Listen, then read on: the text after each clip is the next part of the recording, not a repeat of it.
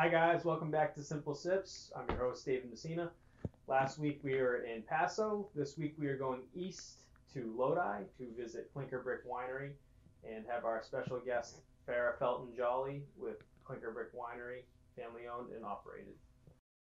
So last year, if you missed it, Farrah came down to Wine Connextion, had a great tasting. So if you weren't available to make it last year, please come by, pick up the wines, and enjoy this virtually with Farrah. Thank you.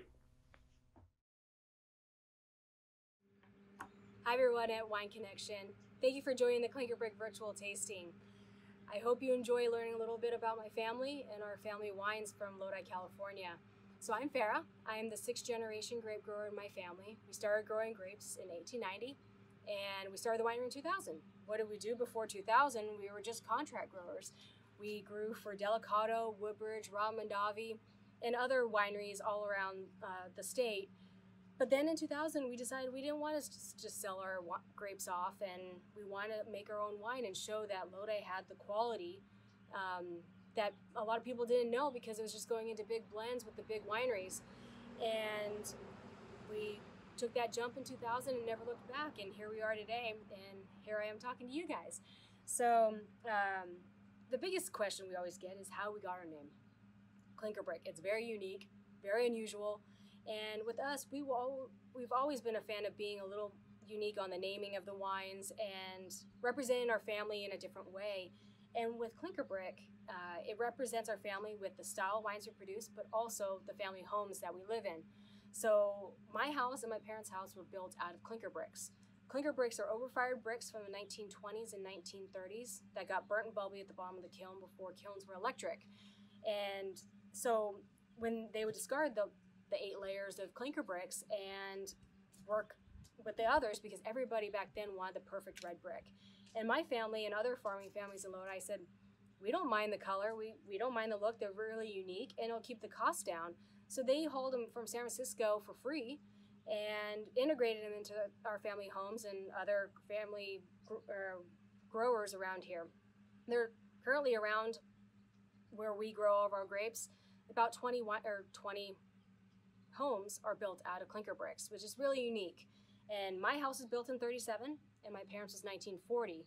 Um, so it represents our family a different way than just not just having our last name on the label.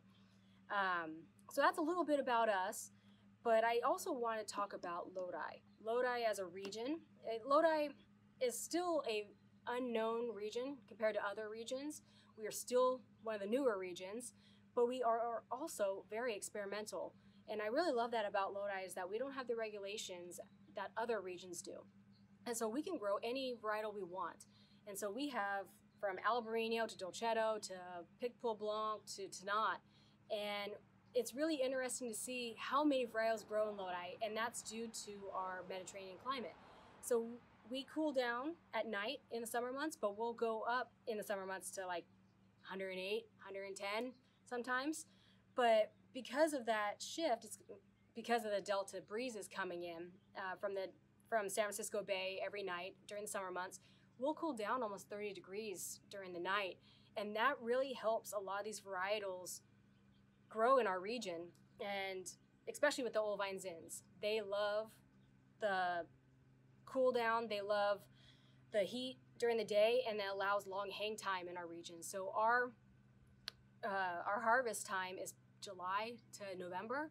So we have a really long season for harvest, and that is due to not always staying hot or and not staying super cold either. We have those shifts, and that is really unique to Lodi. Lodi also has a lot of different soil types. Most of our vineyards are in the Mokelumne River sub-AVA, which is the biggest sub-AVA of the seven subs uh, from from Lodi, but in the Mokelumne River, you get the sandy loam soils. So sandy loam soils allow the root systems to go deeper and to breathe. And so you're getting those old vine zins that are reaching the water table. And with Mokelumne River sub-AVA, it's pretty much where all the old vines of Zinfandels, the old vine Carignans, and old vine Cinsaults are. The oldest vineyard is actually um, about five minutes away from us. It is a 135 year old Cinsault vineyard. That's the oldest vineyard in Lodi. And I, I feel Lodi has more old vine Zinfandels and old vine varietals than any other region currently. Right now, with with us, we have vineyards that range from 50 to 122 years old. So truly all old vine Zinfandels. But um, the oldest ones, you know, they're producing a quarter ton the acre. But we always make sure that we take down the crop to four ton um, at the max. We do not o- want overcrop. Uh, back when we were contract growers, we were trying to grow for 14 ton to the acre. We're not in that business anymore. We really want to keep the quality in the bottles. And doing that, to do that, you need to take the crop off to four ton to the acre or less.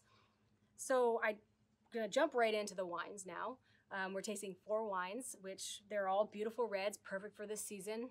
And we're to start with Brick Mason. So, Brick Mason is the newest to the lineup with us.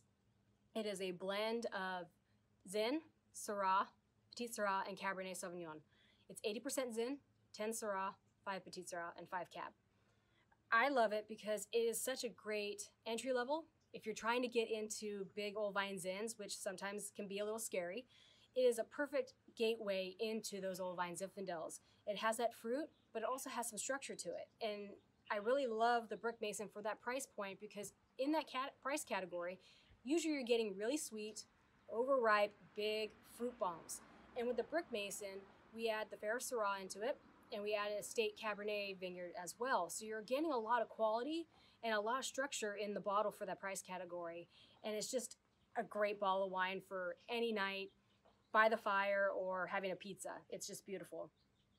The Fair Syrah, um, everybody wonders how I got my name on it. And my grandfather named the vineyard after me when I was five.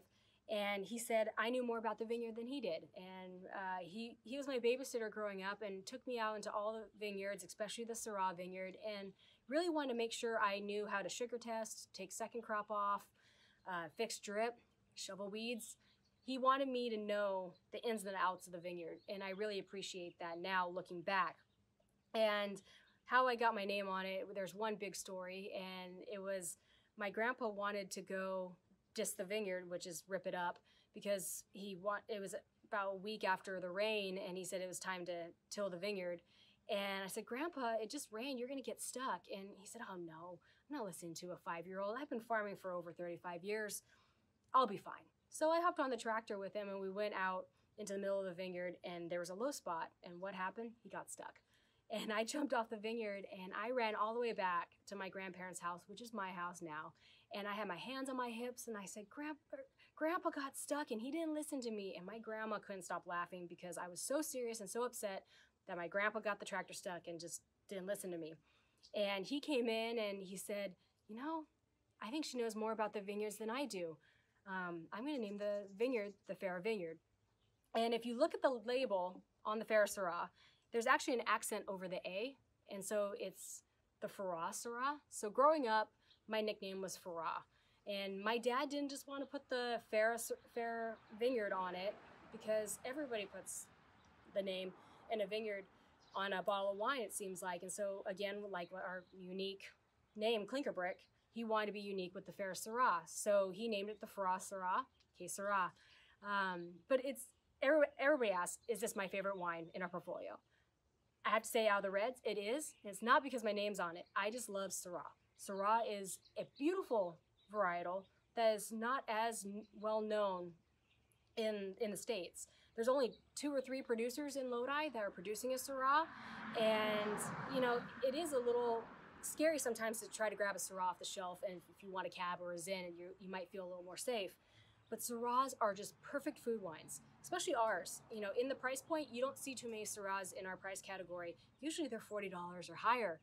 And with our Syrah, you get that old world meets new world style. So you're getting that earthiness of old world um, French style, and you're getting that big fruit from California and from Lodi. And it's just a beautiful, beautiful wine. Pairs with a duck, pizza, mushroom risotto. It goes with a lot of different foods. Um, the next one I want to talk about is the cab. So cab is our second newest to the lineup. It's about four years old with us. We've always been producing Cabernet. Uh, Cab has been grown here in Lodi for generations. It's the second largest varietal actually being grown in Lodi. after Zinfandel. Zinfandel, there's 40,000 acres grown, being grown here in Lodi and 20,000 acres of Cabernet. But nobody thinks of Lodi for Cab. Cab should be Napa. But Lodi is bringing a different style of Cabernet to the table for price point, for style, for layers. They, they're not, it's not going to be as big on tannin. It's going to be really smooth on tannin. It is, going to be easier to drink. It's a good gateway cab. If you're trying to get into Cabernets and you're scared of that big tannin bomb, this is a great user-friendly style cab that can get you into the Cabernets. But also, if somebody's not a fan of cab, but you have a cab drinker at the party too, you have you can get a Lodi Cabernet, the Klinker Brick cab, and you it, it's a crowd pleaser. It's beautiful. It'll make the cab drinker happy. It'll make the non-cab drinker happy. So again, very nice Cabernet, French oak, 15 months. Uh, we really don't want to do too over oaks, so we do 50-50 new and used on the oak treatment. So you get that oak, but you also get some very balanced oak style as well. Next is the Old Ghost, and last is the Old Ghost. Um, Old Ghost is our reserve Old Vine Zinfandel. It's a beautiful Zin. It's not your typical Old Vine Zinfandel. Usually from Lodi, you think big fruit, Old Vine Zin. With Ghost, you're getting layers, you're getting elegance, you're getting tannin. I call it the cab drinker's Old Vine Zin because it has that elegance and that tan structure that most Zins do not have. How do we get our name or for Old Ghost? My dad was out in one of our vineyards at, early in the morning and the Tule fog was rolling in. So we get fog during the winter months because of the moisture in a lot of our vineyards around here. And they're all dormant, so they're really eerie already. And my dad was out looking at the vineyard and it just was so ghostly and eerie. And he said, Man, it looks like a ghost should be farming this place. It's just really eerie. And the old vines are half on their way out, they're half dead, low yields. He's like, That's a perfect name to represent the old vine Zinfandels of Lodi. And that's how Ghost was born. Um, so Ghost, the vineyard will change every year. We're looking for a style and the, from the vineyards. And most of the vineyards are dry farmed. So they will change every year. And we really want to make sure we have consistency in our wines. So with that, we pick one vineyard that has that style that we're looking for. So the Ghost, like I mentioned earlier, elegance, layers, tannin, some fruit as well. That's what we look for in the vineyard that we pick for the Ghost. So the Ghost this year is a 106 year old vineyard. Very big wine, 59 alcohol. Watch out, it, it can catch you pretty fast. But it doesn't taste or drink hot like that high of alcohol. It's very integrated, and we take pride in that because, you know, Lodi, they everybody thinks Lodi is just lower end Zins, but we do have Zinfandels that go up to $75 in Lodi now. And we've been told by multiple wineries if it wasn't for the Old Ghost, there wouldn't be those $75 bottles of Old Vine Zinfandel. And we really take pride in that because we took the jump in 2003 to start showing that Lodi can produce premium and quality and higher end wines. And it, we took that jump. And now, if you look at all the wines in Lodi, there's price points from $5 up to $75. So it's a really unique region, um, and we're happy to be part of it and seeing it grow. So those are the four wines we're tasting, and I hope you enjoyed all of them. I wish I was there in person. Last year I did a tasting at Wine Connextion. It was great, and um, I'm really looking forward to coming back and seeing everybody in person. Hopefully next year, fingers crossed. Um, but until then, I will uh, be doing videos like this and hope everybody enjoyed and hope you enjoyed tasting the wines and listening to my story and a little bit about Lodi.